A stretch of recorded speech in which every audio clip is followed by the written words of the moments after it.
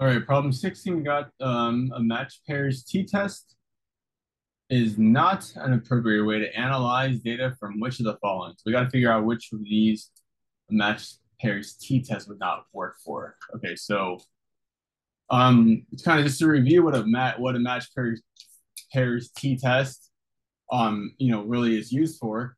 It's it's essentially when you um want to like test you know, you want to test, you know, some um some you want, want to test the effects of something. Maybe like you're testing some drug, um, maybe some, you know, some energy drink. So you want to test this, does this energy drink make a difference? Um, the thing is, is that when you're testing, you know, something like that, um, there's going to be a lot of confounding variables. So you want to make sure that you compare your um your effects on people that are very alike. Um, so like let's say you want you want to you want to test um two groups of people. Um, you want you want you want to account for factors like make try to keep them the same age, make sure they're both like um regular coffee drinkers. Uh, make sure you know they're like they're the same weight because we know those those can be factors when you're testing you know drugs or you know um, you know the energy drinks or stuff like that. So a match pairs t test is when you're testing something among a pair of individuals that are alike. Um, the pair itself could also just be the, the person. Like you can test yourself.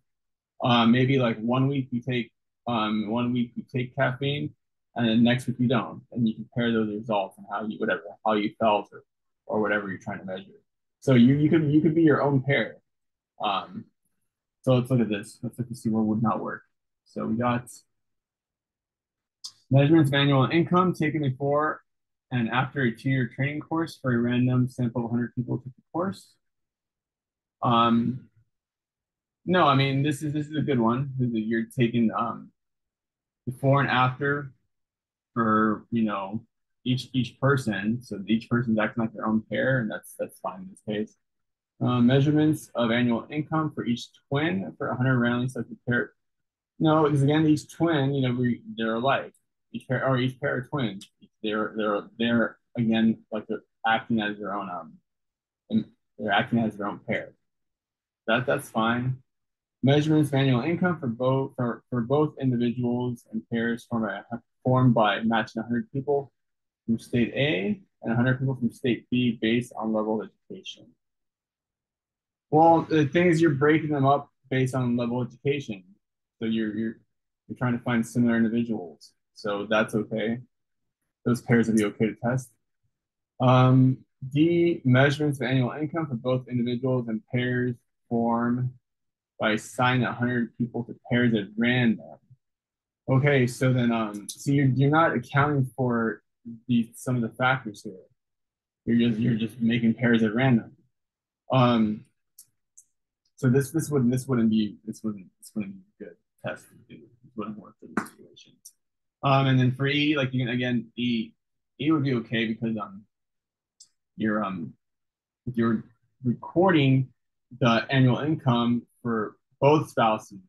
So again, it would make sense that um each you know each you know pair you know each each each you know whether um, husband and wife um would you know would be you know have similar you know characteristics among themselves. Um, so, so um, that that factor would be for. Um, 17. The pulse rate for each person in a sample of 20 men and 20 women was reported. The box plots below summarize the pulse rates for the men and women in the sample. Okay, so um, looks like the pulse rates. Um, for men. So these stars, remember, these are at, these are like outliers. We got a couple outliers for the men, um, and then the women. This may be a little higher overall. Now let's see. Um, which of these statements in the sample must be true? So this is testing that you know how to read your box plots. There are more people between the first and third quartiles for women than there are between the first and third quartiles for men. Okay, well, each group has 20 people. Each group there's there's 20 people in the men group and the and the women group. And there's five in each of those 25 percentile. There's five in here, five in this little spot, five in there, and another five in there.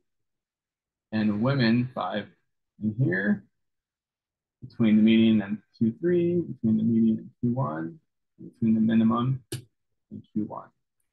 So um, they're not there's, there's not gonna be more people because because they're both equal sized groups. the, the, the um ranges may be different, but the number of people is the same. So it's not gonna be A. The person with the lowest pulse rate is a woman. No, because it's a man. you can see these outliers. These count. These are outliers. They still count. Um, those those marks are just a way to represent outliers. Usually the rule will be one more than 1.5 um, IQR units away from Q1 or Q3, above Q3 or below Q1. See, at least half of the women had higher pulse rates than three fourths of the men. So half of the women would be here.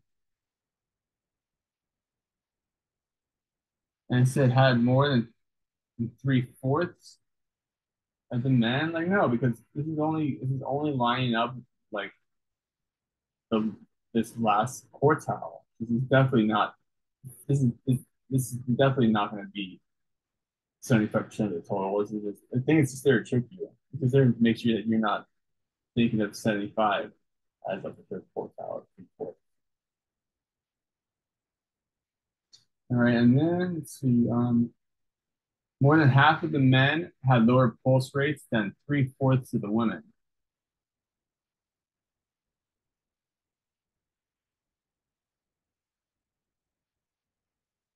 Hold on a second. I just, I just confused myself right now. It is C. I just I, I, I did that backwards, or I thought of that backwards. Had higher pulse. Yes, so they have higher pulse rates than three fourths of the of men they're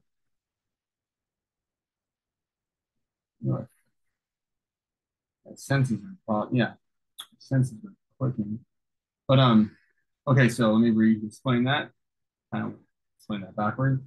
So um, three fourths of the so the um so the the median pulse rate for women is right here on this line, you know, around 75. But 75% of the men, their their pulse rates lie from from about 70 to down here. This is these three parts, these this interval, this interval, and this interval. So 75% of the men are definitely, you can see clearly that at least 75% of the men, because there's a little more right here, are below the, the, the median pulse rate for women or 50, or 50 percentile for women. So it is, um, it is C, C would be answer. Sorry about that. 18, um, an airline claims that the mean flight time between city X and city Y is 38 minutes. After taking many flights, a local business group believes that the claim is unrealistic and that the actual mean flight time is greater than 38 minutes. If the group conducts a study to investigate this belief, which of the following hypotheses should be tested? Okay, so we're looking at we're looking at we're looking at um, we're looking at means so the null hypothesis, remember, is that there's no difference.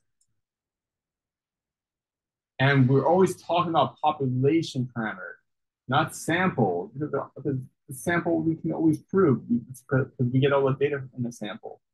So right off the bat, um, the hypothesis test has to be dealing with um, with um, the population, not the sample. So it's not going to be A, B, or C.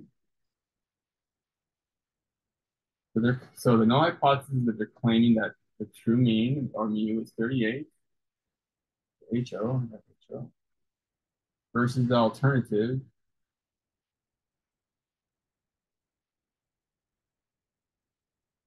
that the mean is, so they're saying the actual mean is greater than 38. So we're saying that, that the population mean or mu is going to be greater than 38. Making sure you know that you know your inequality symbols. So then it's going to be E. Yeah, that one's pretty clear, straightforward. I think they're really just testing that you know your symbols. And number 19.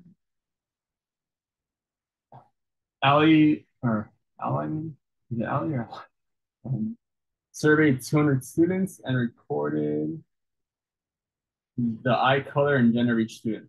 Of the 80 male students that were surveyed, 60 had brown eyes. And if eye color and gender are dependent, how many female students surveyed would you expect that brown eyes? Okay, so let's um let's make a little table, male, female. Let's put up. Brown brown eyes.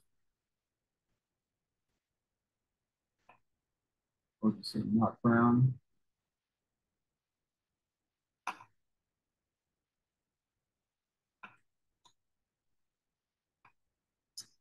Um, and there's 200 total students, so 200 goes down here.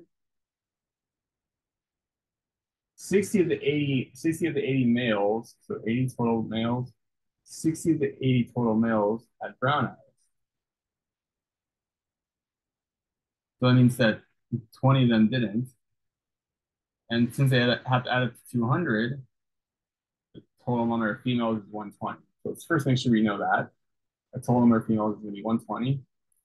Now, when we're saying that um, events are independent, um, in a in a real life context or the way you want to think about it in real life, we're saying that you know that there's no association between you know these two things. In this case, there's no association between gender and eye color, meaning that knowing someone knowing their gender is not going to help you at all predict um, what their eye color is. So that means that the percentage of males with brown eyes and the percentage of females with brown eyes have to be the same. Because again, knowing the gender is not going to help you. Like it's not going to help you guess. So the, the only way that would make sense is if their percentages are the same. So we want to look at what percent of males have brown eyes. We look at 60 over 80. So then this is 75% of males have brown eyes. Let put that here. I don't want to confuse you. 75% of males have brown eyes. So you want to basically have 75% of females have to have brown eyes as well. So you take 75% of 120. So 75% of 120 is just going to be 90. You can, can multiply 0.75 by 120. Just to be certain. So the 90 of the females will have will have brown eyes.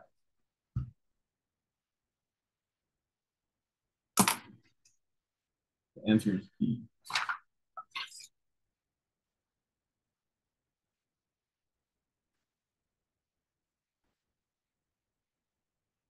And number 20, we got the National Health Study reported that the proportion of students with elevated blood pressure is 0.15 the principal of a local high school believes the proportion of students in the school with elevated blood pressure is greater than 0.15. If a, if a large sample is used, a large random sample is used, which of the following is the most appropriate test to investigate the principal belief? Well, this is kind of pretty straightforward. I mean, I, I don't know what they're trying to get at. I mean, it's just proportion. It's, it's going to be a test for proportion um, because you're just looking at, um, it says the proportion of students with elevated blood pressure is 115. So you want to basically test, you know, is the is the proportion of, you know, is P, at, you know, is the, is the proportion of the, the boys higher than 115? Yeah, so it's just, it's just going to be A. So there's two. All right, so I hope that helps.